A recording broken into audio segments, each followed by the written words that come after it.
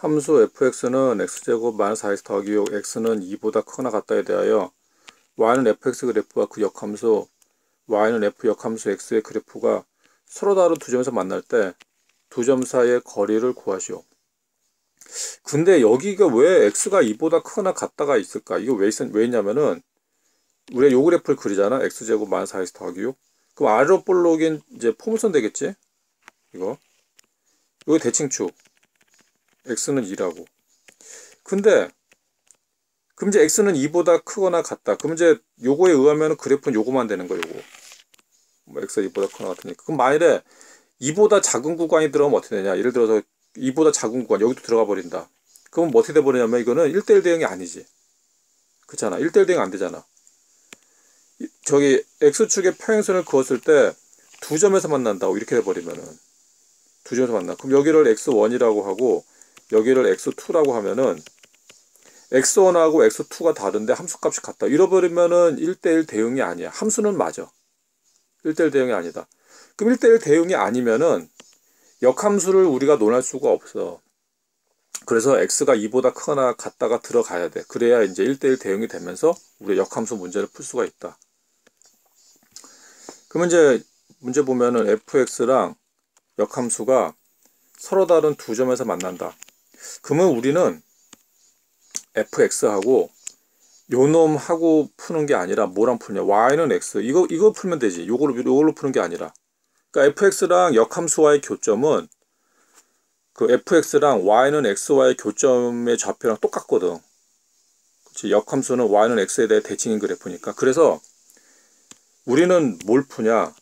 그 우리가 두 점? 두 점 어떻게 구하냐면은 fx는 x의 제곱 마이너스 4x 더하기 6이랑 어, y는 y는 x 요 두 개를 연립을 해서 푸는 거야. 그 연립을 해버리면은 두 점이 나오겠네. 연립 방식. 그러니까 연립 방식. 그 대입법으로 풀자. 그 x 제곱 마이너스 4x 더하기 6은 x. 요 이항.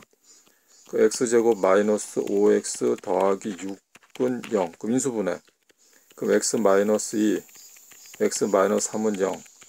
그래서 해가 x는 2 또는 또는 x는 3에 나오네. 그 y는 x 위의 점이니까 x가 2면은 y가 2, y도 2가 되는 거. x가 3이면 y도 3이 되는 거지. y도 3. 즉 교점의 좌표가 2, 2, 3,3이야. 교점의 좌표가. 교점의 좌표가 2, 2하고 그러니까 두 점, 두 점 2, 2하고 3,3이 되는 거지. 3,3. 그럼 우리는 뭘 구하냐? 두 점 사이 거리니까 2,2랑 3,3 두 점 사이 거리 구하면 되네. 그러면은 루트 3에서 2를 빼. 그럼 1의 제곱 더하기 또 3에서 2 빼. 1의 제곱. 그 답이 뭐냐? 루트 2다. 그 두 점 사이가 루트 2. 144번. 세함수 y는 fx, y는 gx, y는 x 그래프가 위에 필수의 30일과 같을 때 이게 뭐야 이게? G 서클 f 역함수 d 더하기 f 역함수 서클 g c의 값을 구하시오. 자 이게 이제 필수의 31번의 그래프고 그 뭐부터 해야 되냐 이거? 뭐부터 해야 되냐면은 x축은 여기 좌표 축에 그, 그 좌표가 표시되어 있지 abcd 그럼 세로 축에다가도 이거 표시를 해줘야 돼. 이거부터 해야 돼 이거. 이거. 그래서 옆에 있잖아. y는 x 그래프. y는 x 그래프 이렇게 쓰면은 그요 y는 x 그래프 있는 거 점 다섯 개. 여기가 a겠네. A, 여긴 b. 그다음 여긴 c d 이런 식으로. a b c d. 이런 식으로 먼저 y축에다가 다 써줘야 돼. 다 써줘야 되고. 다 써주고 나면은 이제 y는 x 그래프는 사실 필요가 없어. 필요가 없다. 우리 역함수 그래프가 있으니까 필요가 없다. 아 지워버리자 이거. 거슬린 아 참 이거 아 이거 a b c d 지우면 안 되지 이건 참. A b c d e. 이건 지우면 안 되고 이거 이건 지우면 안 되고 이거 y는 x를 지우자. Y는 x. 자 지워버리고.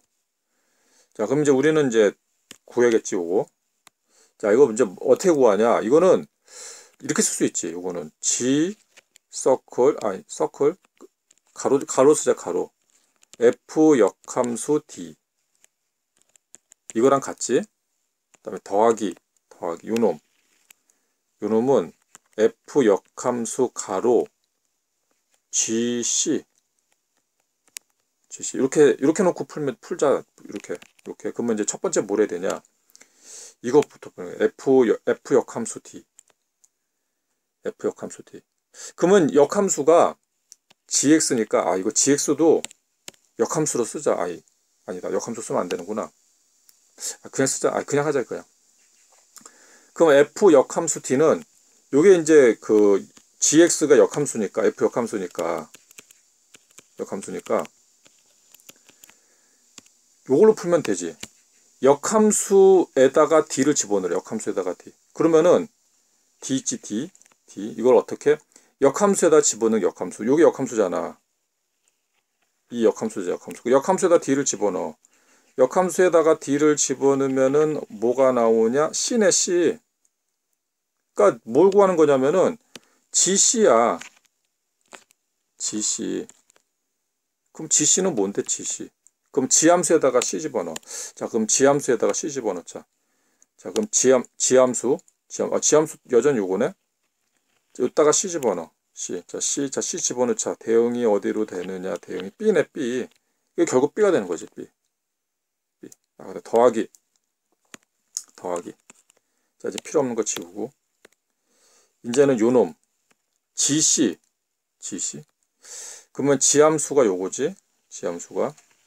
요따가 c 집어넣어. 아, c 똑같네. 자 c 집어넣어. 자 c 집어넣으면 뭐로 들어갔지? B가 b가 나왔지 b. B. 요 b라고. 그 결국 뭐냐면은 f 역함수 b가 뭐냐 이거야 그럼 f 역함수 b는 f 역함수는 f 역함수는 또 요거 있잖아 요거. G gx였잖아 gx 그 요놈에다가 b를 집어넣으라고.